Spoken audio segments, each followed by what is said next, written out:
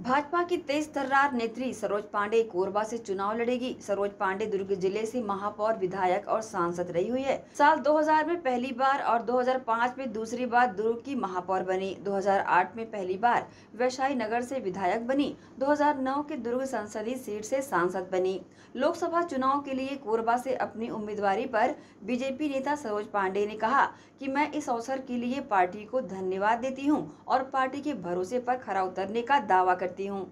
Party ने अवसर दिया, पार्टी को बहुत धन्यवाद है। पार्टी ने जो अपेक्षा है और पार्टी के विश्वास पे खरा उतरने का प्रयास करेंगे, मैं अपने शीर्ष नेतृत्व को धन्यवाद देती हूँ। देश में विकास का विषय है और एक ही नाम है।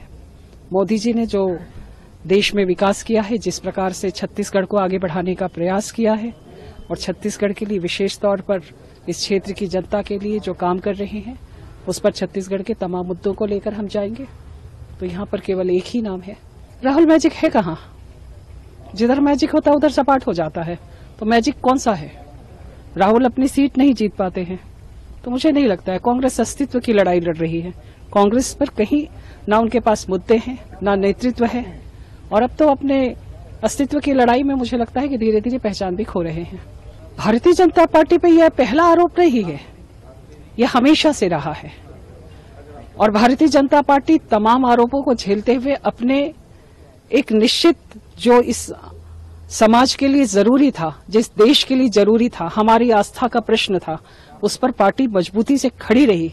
आज इतने वर्षों के बाद में अगर हमारी आस्था को बल मिला है तो वो भारतीय जनता पार्टी के कारण मिला है और आज इसे देश स्वीकार करता है। नहीं, राम मंदिर, ये हमारी आस्था का प्रश्न रहा है और किसी की आस्था पे प्रश्न खड़ा नहीं किया जा सकता है। यह हर व्यक्ति का व्यक्तिगत मामला होता है।